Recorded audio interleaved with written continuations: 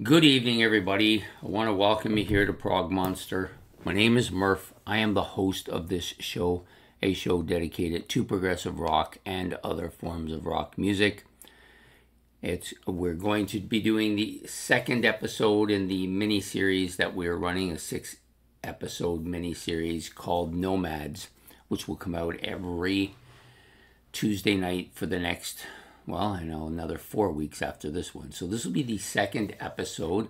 And what this basically is about is those musicians that are kind of being all over the place, playing on a lot of stuff, uh, playing, you know, with some bands, playing on their own, playing with uh, doing lots of session stuff. In some cases, going out live with the band, sometimes just playing on the albums, all kinds of different things and a combination of all that stuff. And we're just going to talk about these six artists. And today I've chosen a drummer, being being somewhat of a drummer myself, uh, Jeff Porcaro. Yes, Jeff Porcaro of the Toto fame, of course. That's where he got his fame. That's where most people kind of know him from. Although, to be honest with you, this guy's probably played on probably played on more albums in the 70s than just about anybody else.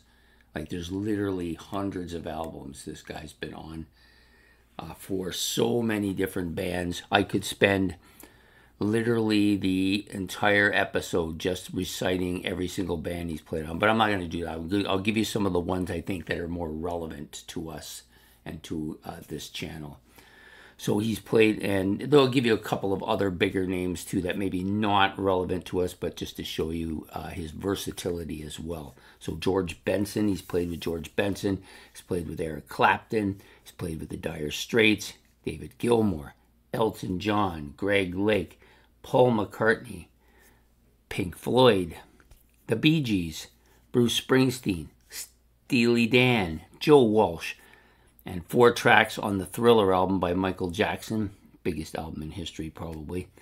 Klaatu, Paul Simon, Roger Hodgson, and he got his start playing with Sonny and Cher. That's where he did his first kind of gig playing on their touring band back in 1971. So he's been act he was active from 1971 till his death in 1992. So about 21 years, but played on a multitude of albums. I could uh, literally list them all, but you can go look it up if, if, if you really need to know everybody he's played with.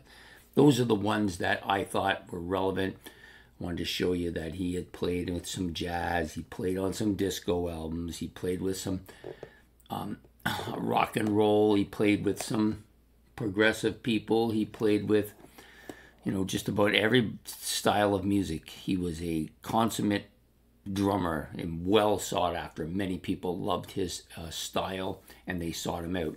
I don't think there's a drummer that's been sought out more than him. If I can think of one, I'll let you know, but I can't at the moment. Anyways, he's played on a ton of stuff. Probably, I'm guessing, um, most of that stuff was in the 70s, not so much in the 80s. Maybe he would have continued playing. Who knows what would have happened? He did play, he was one of the original Toto members along with his brother Steve um, and uh, Luke Lukather and Patch. Those other those were the other ones that he also they were the original four members of Toto. I think he played on their first eight studio albums and has been on a couple of their um, compilation albums and stuff since then. Um, but this is all post post uh, uh, what do they call it well, after he died, let's put it that way. Sorry, the word wasn't coming to my brain. Anyway, so he's played on, the, the point is he's played on a ton of stuff. And he's toured with some of these bands too. I think he's, I think he toured with Steely Dan. I know he toured with Sonny and Cher. I think he also toured with the Bee Gees. He may have toured with some of the other ones that I'm not thinking of. Um, but he's played on just about I mean, he's played on a couple of hundred albums easily. So, and he played with a lot of people that um, that I tend to like as well. So, excellent, excellent drummer, uh, excellent musician, and uh, very versatile. I think to play in all these different styles and stuff. So, for me, Sky had to be on the list. Uh, you know, when I was when I was putting this together, this series together, um, of course, Ben had already given me four or five guys, but I took three of his guys, um, the three I knew the best, and I added three of my own. And Jeff was one of the ones I added. I believe I added him for the very reason I said he's. If there's anybody that follows this this term of uh, nomads from wandering from album to album, it's definitely him.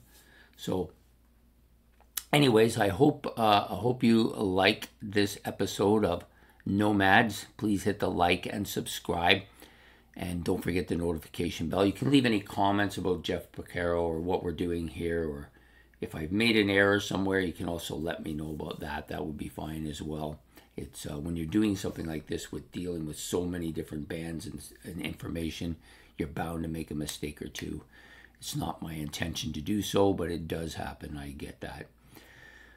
Um, there was one other thing. Yes, so we will be doing the next episode of Nomads of Gain, of course, next week on Tuesday night. This will be out a little bit later. Um, I didn't get home till later and I was starving, so I ate and was preparing my notes while I was eating.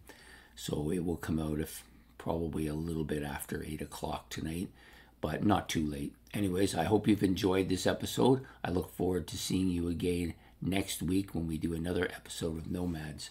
So take care and goodbye. Sorry.